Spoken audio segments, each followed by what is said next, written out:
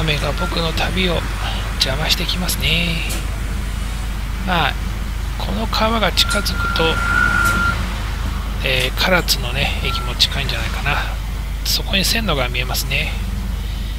あの佐賀駅の方から来る路線と博多の方から来る路線は橋をこ橋でね川を越えて合流して唐津の駅になります。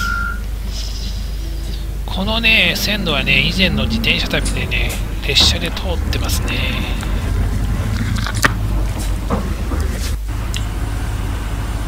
そして唐津の駅の市街地にやってきましたね。ちょっとバスがね駅とはちょっと違うところで終点になるんですね。ちょっと詳しくなかったので通り過ぎちゃったのかもしれないですけどここからね雨に濡れながら駅に向かうというね。バス会社と JR が仲良くなってないんだね。競合関係なのかもしれないね。そしてラーメンでさお前さん草飯食ってるか食ってるよ。お前さん草飯食っとるか？食っとるよ。肉うどんの旅。寒い時の旅にね。うどんがしみるのよ。ね。ということでね前回の続きでございます。えー、博多南駅でございますね。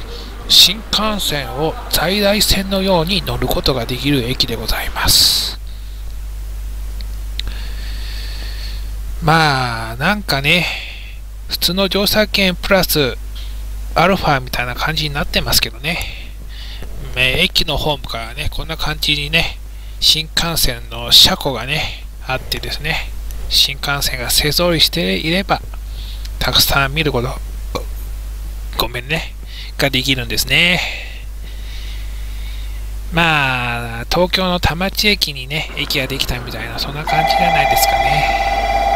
僕はね、山手線のね、大崎のね、あの、大井町の駅の方まで伸びてる駅の隅の方にね、大井町駅のプラットフォームをつけてね、大崎駅と、ね、山手線が行き来したらいいんじゃないかなと思ったりするんですけどね、ダメでしょうかね。臨海線と競合しちゃいますかね。えー、だって京浜東北線からさ品川まで行ってさ引き返して大崎の方に行くのはさ新宿湘南ラインとか向こうの方を利用できる人はいいけど利用できない人はめんどくさいからね。まあいいや。ということで今回ねこのねなんかこの新幹線に乗っていきます。レイルスターって書いてあるのでですね博多駅でまた在来線に乗り換えていきますよ。そのまま乗るとね、新大阪の方まで行っちゃうみたいな感じでしたね。ね、新幹線と変わんないですよ。新幹線に乗ってのと一緒ですよね。コンセントでね、スマホの充電をしちゃったりなんかしちゃってですね。まあそんな時間もなかったかな。まあ、快適暖、もうあったかいところでね、外を見ながら雨を雨の景色を見ながら旅をやっておりましたね新幹線輪行ですね新幹線輪行。いや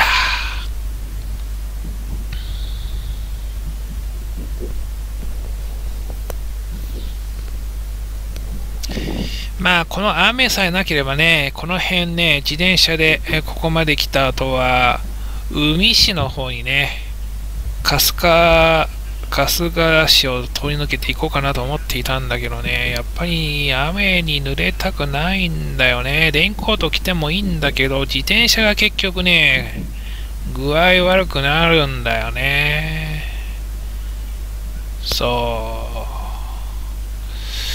雨に弱い自転車なんですよ。まあ、時々ね、レインコートで着て頑張る時もあるんだけどね、こんな感じでね、海市の方にね、迂回していくんですよね。これ、博多駅でね、尾形っていうの？直方、尾形だっけ？直方の方に行くやつに乗っていく。これ、博多駅ね、博多駅。やっぱり混んでたねこの車両もね学生も多かったような気がしますね夕方に差し掛かってますからねそんな感じでですね。初めて乗る路線かな。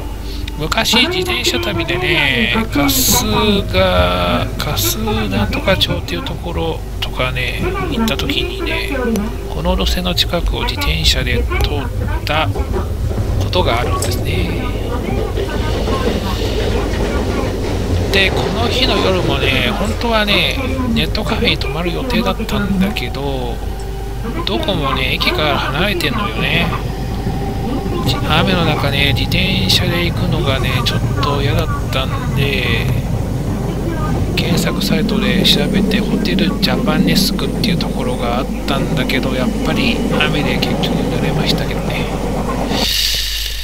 でこのね粕谷町。前ね自転車旅で来たことがあるんですけどね。で途中で乗り換えるわけですね。この駅で乗り換える長者なんとかなんていう駅だったっけちょっと思い出せないですけどね。この駅で立体交差の駅なんですよね。共に単線で駅のところは伏線になるみたいな感じだったと思うんだけどちょっと忘れちゃいましたけどね。これううそうそうそうそうそう。これね下の路線から上の路線に乗り換えた。上は単線なんだね。なんか単線だけど人口多いみたいな。うん。人口に合わせて伏線にできないようなそういう状況みたいな感じだったのかな。そして海市。この海市ね。海がないんだけど海市ね。この路線ずっと乗っていくとの半島の方に行くんだけどね。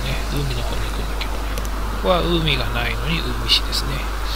駅前ねやっぱり雨でしたね。やっぱり雨じゃなかったらよかったなと思うんだけどね。で海市で引き返して次えー、ここね、す、なんつうんだろう、末町？読めない。このシンバル、シンバル、シンバルという駅で、えー、動画の説明をしたいなと思います。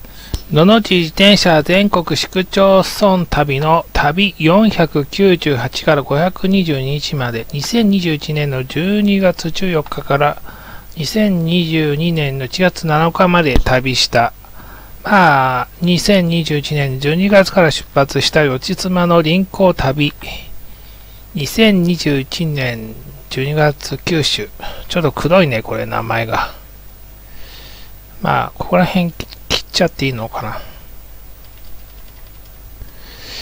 四ち妻臨行旅2021年の12月九州編。青春18切符も使った臨行旅。でございますね。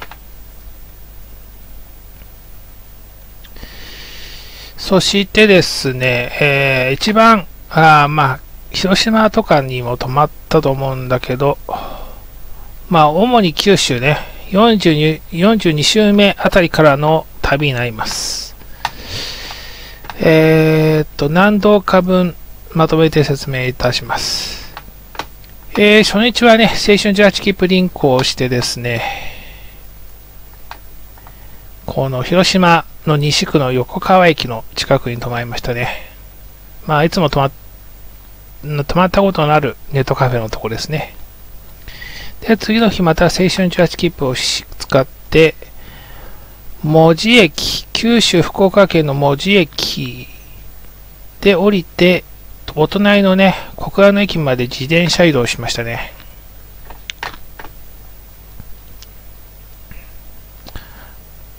鉄道で乗り継いでも同じ時間帯の列車に乗ることになるので、その空き時間を使って自転車に乗りました。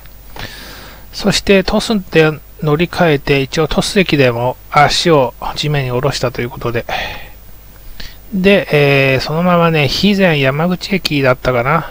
この、えー、北町まで行きますね。で、こっから、えー、自転車に乗ってですね、えここ滋賀県ですね。滋賀県の大町町、そして白石、そして御嶽、そして嬉野、また白石に行って、そして鹿島市、そして大田良な、田良町まで行って、そして臨行して、北町で乗り換えて、まあ途中飛ばしてですね、佐世保市まで行って、ネットカフェに泊まると。この広島西区なんかはね、他の時も旅しておりますね。で、この佐世保市も以前に来たことあります。で、えー、でですね、次の日、このね、平戸市でね、一回降りたんですね。でもまた同じ列車に乗るというね、長時間列車が止まっていたんです。そして、伊万里市でバスに乗り換えたんですね。そして唐津市は以前にも来たことあるところ、ここから鉄道輪行して、福岡県、この伊万里市、平戸は、佐世保と平戸は長崎県。で、ここから、えー、と、佐賀県ですね。そして、唐津も佐賀県。えー、糸崎市というのが福岡県でございますね。まあ途中で降りたり乗ったりしながら西区に行きますね。こっからね、自転車に乗って城南まで行こうかなと思ったら雨が降っちゃったんで仕方がなく、あ、違わない。この佐原、佐原から自転車ですぐのね、城、城南に行こうかなと思ったら雨が広すぎてですね、レインコート着るのめんどくさくて、地下鉄でぐるりと回ってですね、あ、天神の乗り換えがきつかったんですけどね、天神中区で乗り換えて、それで、城南のどっかの地下鉄の駅まで行って、地上に上がって、それでまた折り返して、天神で乗り換えて、西鉄に乗り換えて、南区の大橋だっけな、そのどっかの駅で降りて、バスに乗って、春日市と中川市の境目に、えー、博多南駅、新幹線の車庫のある駅まで行って、そこから新幹線の各駅停車、か新幹線の車両なんだけども、在来線扱いの特急料金いらないやつに乗ってですね。で、博多で乗り換えて、で、春日、えっ、ー、と、春日、春日で乗り換えて、ここはね、以前来たことあるんですね。そして、梅、海、海町まで行って、えー、輪行して降りてですね、引き返して途中、えー、末でね、降りてまた乗るみたいな、自転車に乗ってない。まあちょっと雨も降っていたんでね。そしてですね、粕谷町に戻ってきて、えー、本当はね、もっと行きたかったんだけど、雨がだんだんひどくなってきちゃったんで、どうしようかなと思って、宿、安宿、安宿に泊まるか、えっ、ー、と、ネットカフェに泊まるか、大雨の中ですね、なるべく濡れずに行ける場所として、東区にあるホテルに泊まったんですね。で、次の日、朝ね、えー、列車に乗って博多区のどこかの駅で乗り換えて、博多までは行かなかったんじゃないかな。手前ぐらいの駅で。で、えーとね、えーと、笹栗。笹栗というところまで行って、そして、粕谷町まで戻ってきて、また、雨が、あ一つね、の、一つね、降りる駅がね、快速でね、通過しちゃって、笹栗まで行っちゃって、各駅停車に乗って戻ったんだな。単線のレレ路線なのにね、快速があったんだよね。まあ、乗り慣れてなくて。で、その駅から自転車に乗って、また笹栗のところを通って、東区の境目のところも通って、檜山、久山町を通って、そして、えー、新宮町のところを通って、古賀まで行って、こっから輪行してですね、福津で降りてまた乗るみたいなことをやりながら、宗方も降りてまた乗るみたいなことをやって、でね、岡垣から自転車に乗ろうかなと思ったら雨でですね、えー、駅の中で雨が止むのを待ってから自転車に乗って、音楽とかね、芦屋っていうところを通って、えー、若松区、北九州市の若松区の境まで行って、で、八幡西区の境も近くにあったので通って、水巻町に入って、仲間、仲間市、そしてまた八幡西区の境を通って、えー、桑手町、桑手町、そしてまたね、輪行してですね、えっ、ー、と、長、野方、野方市のネットカフェにこの夜は泊まったっていう感じですね。この後はまた後日紹介しようかなと思います。まあ一応ね、ところどころ前にも来たようなところがあったんですけどね。2019年の10月とかね、2017年の12月とかね、まあそんな感じでちょこちょこ九州は来てるんですけどね。まあ44週目とか3週目とか48週目とかね、ところどころで50週目、52週目、54週目のエリアをまとめて旅をしております。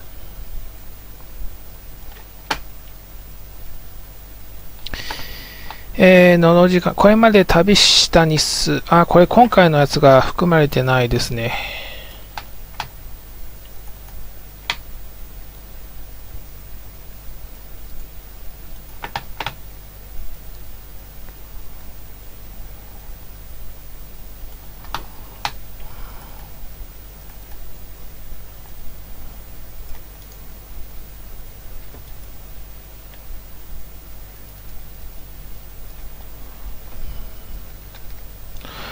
522日目、522日目。えー、っとですね、外国は韓国と台湾、そして、えー、都道府県はもう47都都道府県行っておりますね。そして市区町村の数は1619箇所。計算間違いしていなければその数になっております。計算間違いね、知ってるか知ってないかもう確かめようがない感じになっております。データがありすぎですね。で、今回は、まあ、広島にも寄ったんですけども、福岡と、えー、佐賀県と長崎県の旅になっておりますね。まず、福岡県内。福岡県内、今回の旅で初めて行ったところね。自転車旅として初めて行ったところは、小倉北ね、小倉北区。あ、ここはね、前行ったことあるんだ。えー、っとね、文字、文字区、糸島、糸島、そして西区、福岡市の西区、福岡市の佐原区、中央区、城南区、南区、そして中川市、中川ってね、茨城県とかにもあったような気がするんだよな。あっちは町だったかな。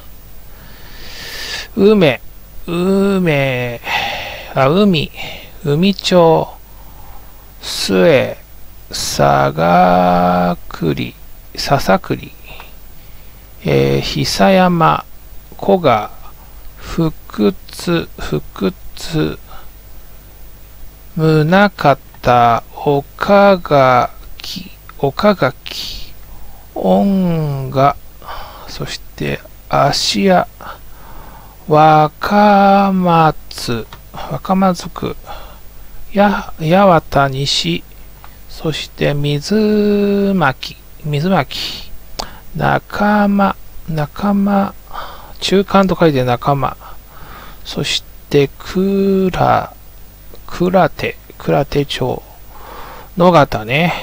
で、37カ所、福岡県は行っておりますね。そして、長崎県も行きましたね。長崎県は初めて行ったとこはなくて、今回はですね、えー、っと、佐世保。佐世保はね、かなり前に行ってるんですよね。佐世保と飛騨、飛騨、えっ、と、平戸市ね、平戸市。前回はね、気がついたら列車で取り過ごしていたんですけどね。でも今回、ちゃんと一回降りました。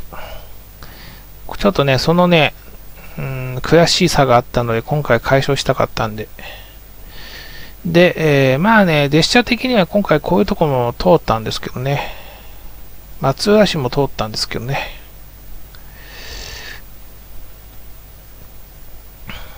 そうだな。は、諫早。諫早は通ってないか。まあそんな感じですね。そんな感じですね。で、あとは、佐賀県。佐賀県は、まあ、鳥栖はね、昔に行ったことがあってですね、今回初めて行ったのが、あ、これ鳥栖が2つ含まれておりますね。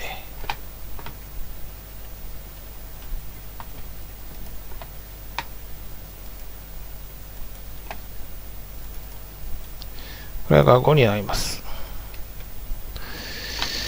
えー、っと、今回初めて行ったのが、江北、大町、白石、竹雄、嬉野、嬉野、鹿島、えー、タラ、伊万里ですね。全部で15箇所行ったので、さっきの集計が変わって、ここは1619、18、18ということになりました。全体的な位置関係。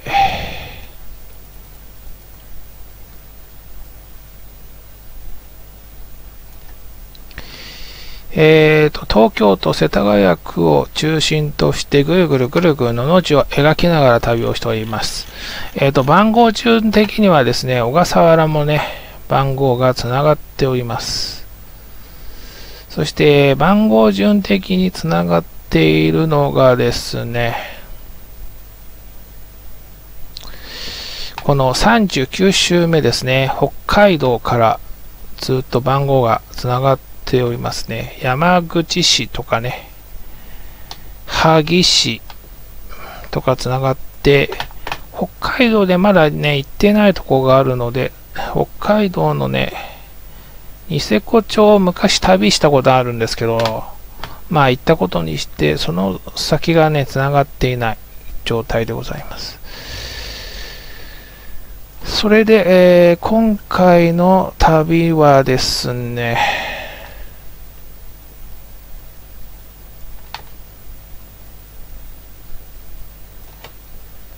まあ、広島県に一回泊まったので、出発してから。広島市の西区に一回泊まったんですけどね。広島市はですね、一応38周目になっております。そして、えーえー、42週目の文字から自転車に乗って小倉まで行って列車に乗ってえー、っとそしてねトストスっていうのが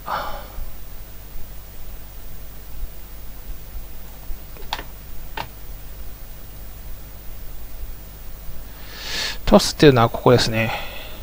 トスで一回乗り換える。49周目のトス駅。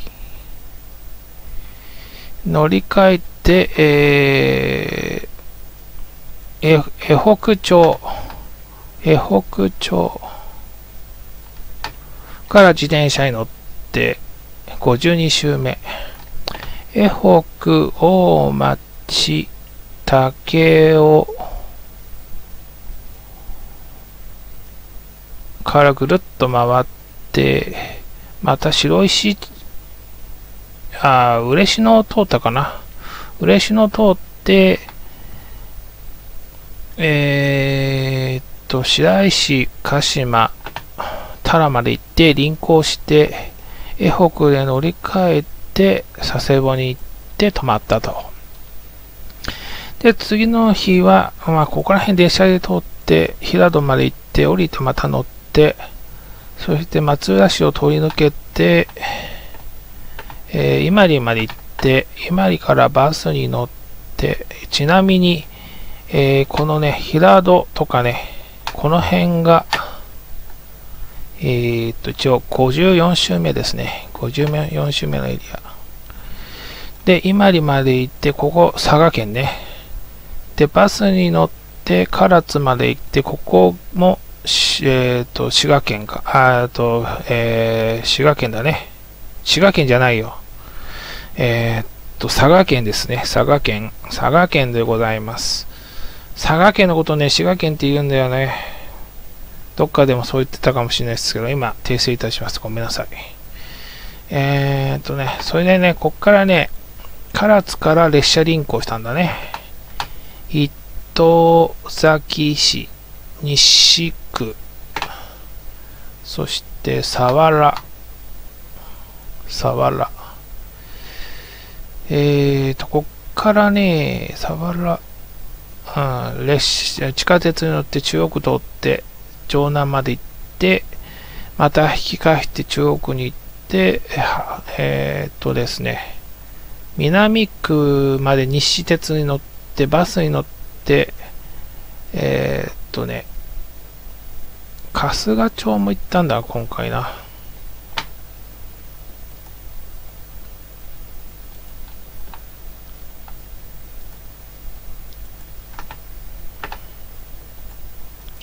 春日町と中川市の中間のところに博多南駅があって、そこからね、新幹線の車両を使った在来線運転のやつに乗って、博多駅まで行って、乗り換えて、かす、粕谷町まで行って、だいたいここら辺が、えー、48周目ぐらいですね。で、えー、っと、そして、海、海、末、そしてまた春日町に戻ってきて、東区なんかを通って、東区に泊まったんだね。で、次の日、博多区も通ってから、えー、っとね、粕谷町も通り過ぎて、えー、笹栗まで行ったんだね。そしてまた粕谷町に戻ってきてから自転車に乗って、笹栗の中を通って、西区と、西区の境を通って、久、久山町で古賀まで行ったわけですね。ああ、神宮町、新宮町のね、一部を通って、それから古賀に行ったわけですね。そこから臨行してですね、乗ったり降りたりしながら、福津、そして宗像、そして、えー、岡垣、岡垣。雨上が上がるまで待ってから、えー、と、あ、音、音が、音がと、芦屋の方に行って、そして、北九州市の若松区の境のところ、そして八幡西の境もあって、そこら辺を通ってからこの水巻を通って、また八幡西区の境のところを通って、で、水巻町、ああ、それ通って、で、仲間、仲間を通って、ああ、その後に八幡西区の境を通ったかもしれないな。